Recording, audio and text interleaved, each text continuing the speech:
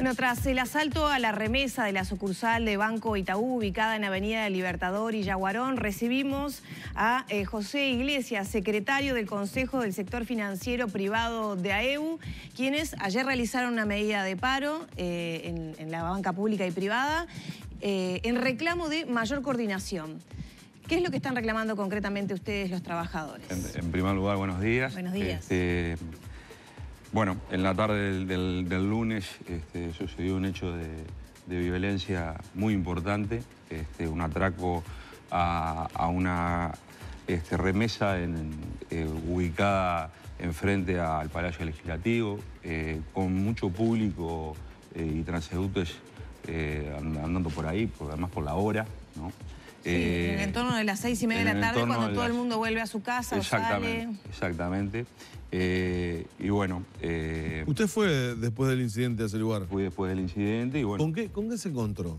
Y nos encontramos con... ¿Cuál fue la sensación cuando En primer lugar nos encontramos con bueno, los compañeros, digamos, que, que, no estaban fuertemente heridos, este, muy choqueados, eh, muy choqueados por la, por la situación y en general todos este, conmocionados, ¿no? preocupados, porque realmente digo, es un hecho de violencia importante que, que se vivió. Ayer nosotros este, tomamos la decisión de hacer un paro de, una hora en solidaridad con los compañeros y además para reflexionar sobre este hecho de, violencia que, vivimos. Eh, y para comentarles cuál era un poco la, situación de cada uno de los compañeros. Este hecho no solamente afectó a compañeros, sino también afectó a particulares, transeúntes que, que, este, que, bueno, que andaban por, por, esa zona. Eh, leímos una proclama en todos los lugares, en todos los puestos de trabajo, ¿sí? en todos los lugares de trabajo del de, este, sector financiero. No solo del sector financiero privado, ¿sí? sino de, todo el sector financiero. O sea que este, también la banca oficial se sumó a, a esta medida, ¿sí? que un poco la cuestión era solidarizarnos de vuelta con los compañeros y reflexionar sobre, sobre el tema. Ustedes sostienen que falta coordinación con el Ministerio del Interior para mejorar la seguridad en, las operaciones de este tipo, ¿no? Como son remesas. Nosotros lo que este, venimos eh, impulsando es una, una coordinación, ¿sí? que entendemos tiene que estar, este, eh, digamos, el eje de esa coordinación tiene que ser el Ministerio del Interior pero en la que tienen que participar todas las empresas del sistema financiero, ¿sí? porque, por ejemplo, en este caso es una empresa digo, que hace remesas, ¿sí? Que se dirige a, un banco, saca, está sacando el dinero y ahí se produce, este, está sacando la remesa y ahí se produce el asalto. Claro, el hecho es en la transición, entre que el dinero sale de la institución y e ingresa a la remesa. Quiere decir que, ahí mismo, en, este mismo hecho, nosotros tenemos dos este, tipos de instituciones que están participando y las dos ¿sí? tendrían que participar, o sea, las dos tendrían que participar en la, coordinación de la seguridad. ¿No hay una instancia de coordinación de, todos los, actores, digamos? No es que no la haya, sino que lo que pretendemos es que se profundice, ¿sí? este, se mejore, porque eh, esto no es una cuestión de un momento en particular. Nosotros esto lo vivimos, claro, se da un asalto y bueno, obviamente ahí estamos absolutamente preocupados por, los compañeros, preocupados por lo que sucedió, este, choqueados por la violencia que, vivimos, pero eh, las soluciones tienen que ser de mediano y largo plazo. Y la forma de solucionar en el mediano y largo plazo las cosas es trabajando todos los días.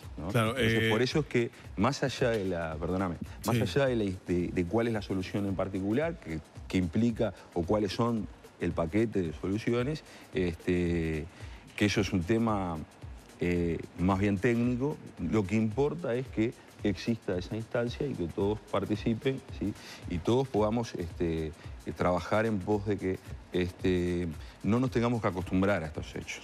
Claro, eh, claramente este es un hecho que se genera en un lugar, en un momento, como usted bien decía, con mucha gente eh, caminando por la vereda, en el entorno, y que por la magnitud del hecho, de la cantidad de delincuentes que participan, de la cantidad de armas utilizadas, del intercambio de disparos que se genera, eh, tiene un impacto, una conmoción en la opinión pública a, través de los medios, las cámaras de televisión y los noticieros allí transmitiendo lo que está sucediendo. O sea, genera un impacto mucho más grande de situaciones como esta que se dan casi, no, diría diario que hay atracos a remesas ni a bancos, pero al sector financiero le están pegando todos los días, porque las redes de cobranza eh, todos los días estamos noticiando de esto.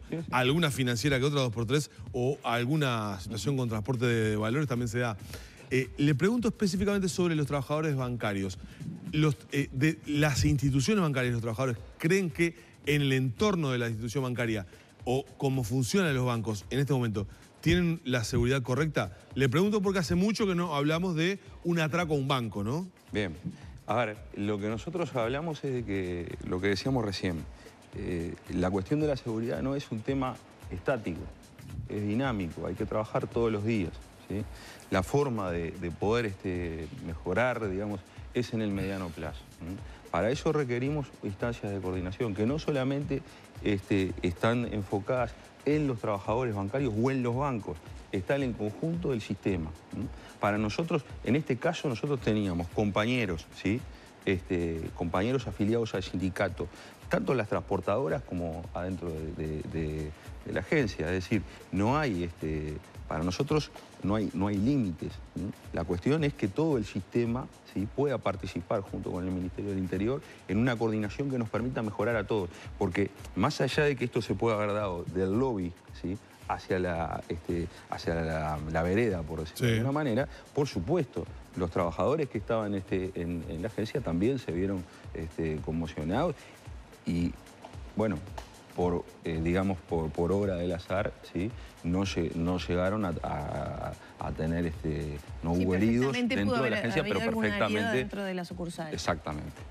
¿Ya, pidieron esa reunión con Bonomi o con el Ministerio de Interior Nosotros, a los efectos de generar esa instancia de coordinación? A raíz de otros hechos, ¿sí? este, ya nos habíamos reunido con Bonomi para, para hacer este planteo, ¿sí? o sea que estamos ocupados en el tema. ¿Entonces no tuvieron eco?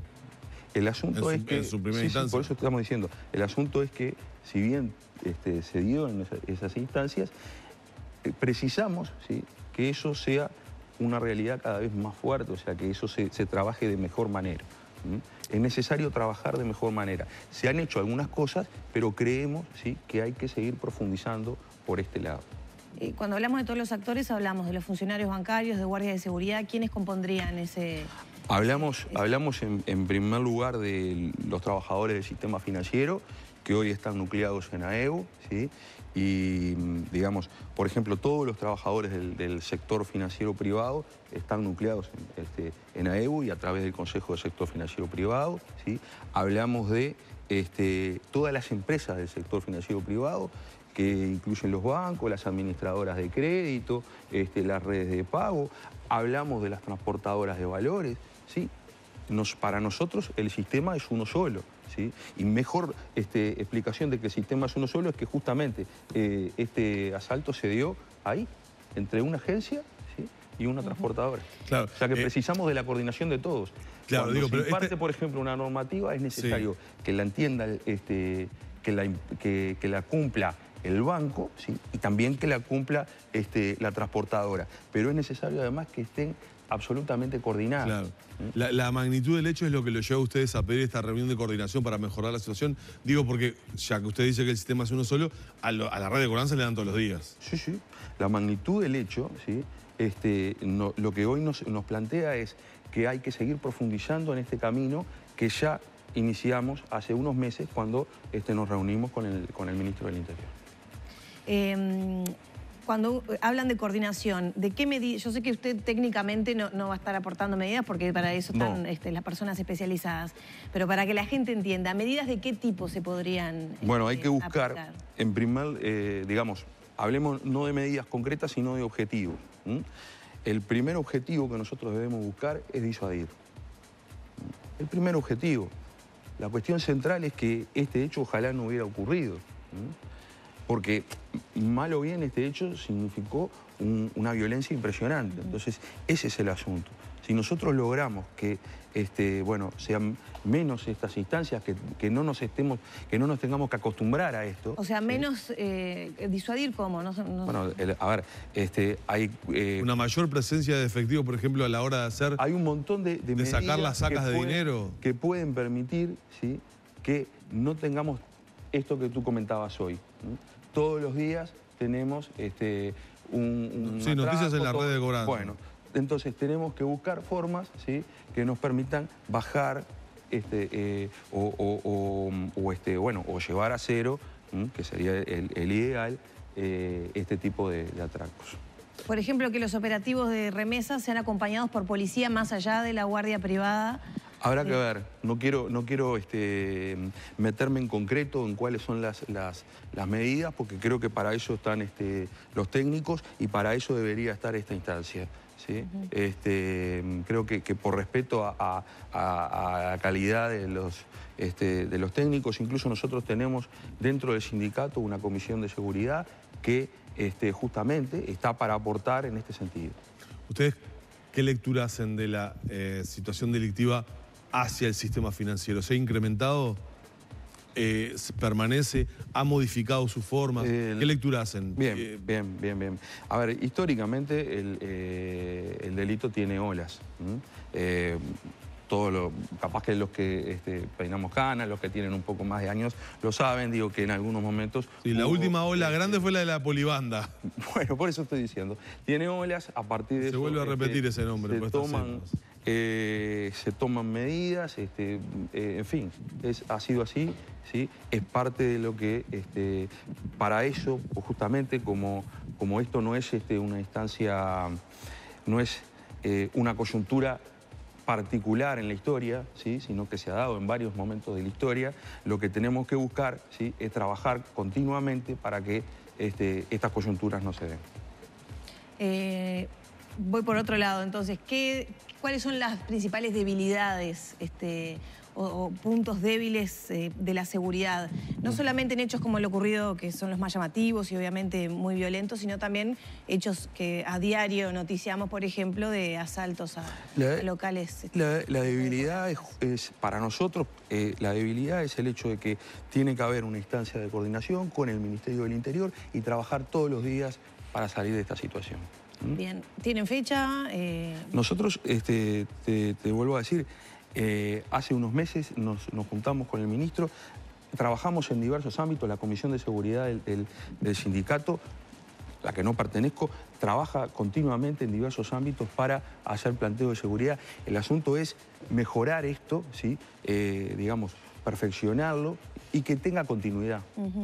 ¿Qué pasa con las empresas? Este, se demoró bastante, por ejemplo, en el tema de los cajeros, en, poner el intintado, ¿no? El costo iba para las empresas.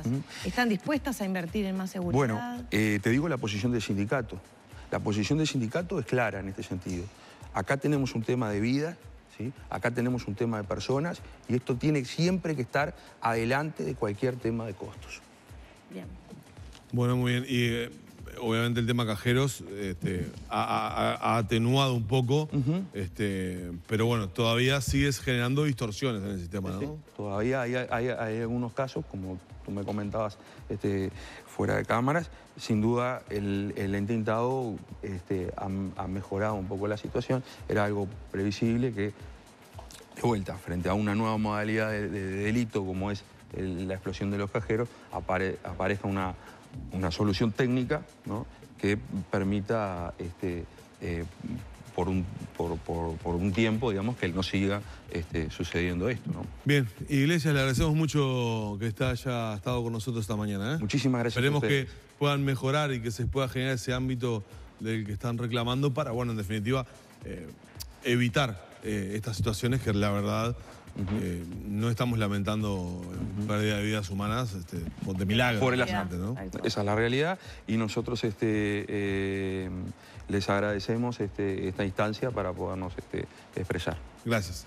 Bueno, así pasaba entonces con nosotros el em, secretario del Consejo Sector Financiero Privado de AEU, eh, José Iglesias.